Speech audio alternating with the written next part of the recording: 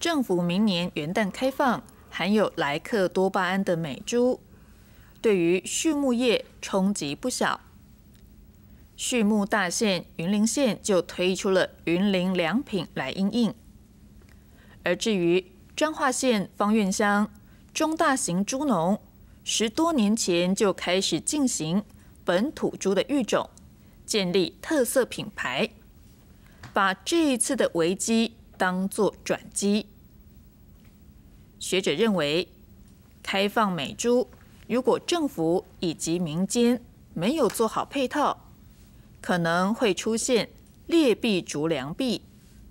对于刚要起步、要建立自有品牌的中小型养猪业者，是一大冲击。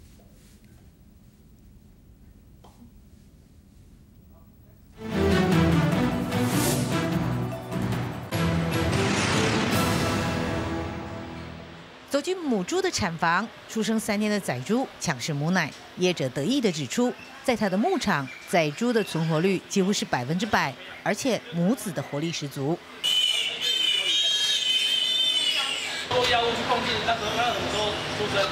投入上亿的资本，猪农郑玉松在方圆的牧场，以处世黑猪一号公猪、高处黑母猪以及杜洛克公猪进行育种和改良，默默打造台湾猪的品牌。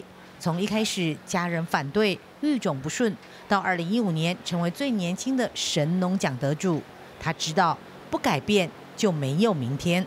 好像他慢慢降下来了，啊，然后他就就会随着那个电脑去进入的控制。郑玉松饲养一万三千多头黑白猪，还要针对不同的市场做肉品区分。他也想自己做通路，但因为担心风险，所以目前销售的部分还是先交给大企业做品牌和行销。十五年来的这样子的黑猪的改良下来之后，我们现在跟这样已经能够、能够、能够准备，能够跟所谓现在的美国猪去做好一个对抗应用了，怎么样去把它这些。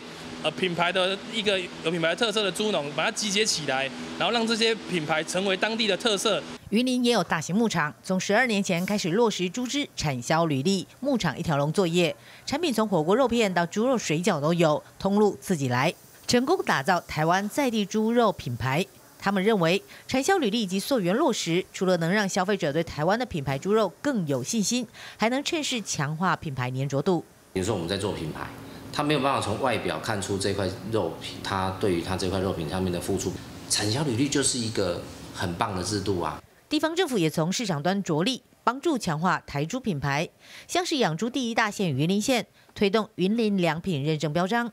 宣誓全面把关消费端的猪肉加工品，全都要零瘦肉精。就是说，所有的这些饲料呢，不能有瘦肉精的添加物。那甚至呢，初犯、累犯、再犯，哈，我们都会有加重法则的哈。我们就是要从源头开始。学者则是认为，畜牧业还是必须步步为营。这波美猪冲击，台湾中小型猪农恐怕大受影响。为了台湾畜牧业的未来，也为了给消费者一个安全又合理价格的肉品。政府有责任透过政策引导，建立国家队及健全产销平台。政府透过这样的一个机制，让它整个产业链的这种怎么样效能提升，毛猪产业啊，就是打整个供应链的团体战。你小孩在打个别战呢，很快大概就很辛苦了。学者建议，政府如果要让台湾的畜产业更健全，应该把钱用在刀口上，让危机变转机。